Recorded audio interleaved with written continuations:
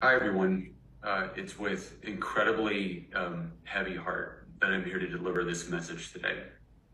I want to acknowledge how hard the last really 48 hours have been on all of you, and I care so much about all of you. It really is just so incredibly difficult.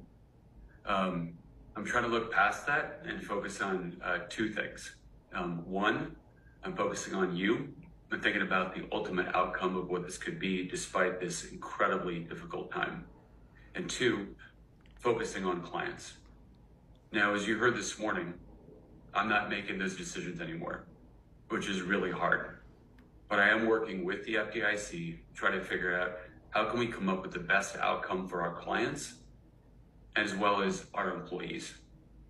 Now, I know when that message went out this morning, I can't imagine what was going through your head and wondering, you know, about your job, your future, etc.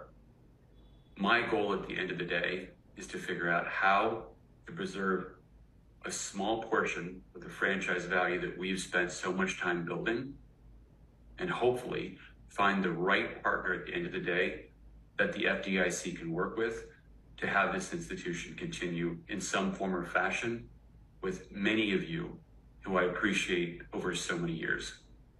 Now, there's no guarantee that something will happen. We don't know exactly what the results will be. So I've got an ask, and it's a completely unfair ask.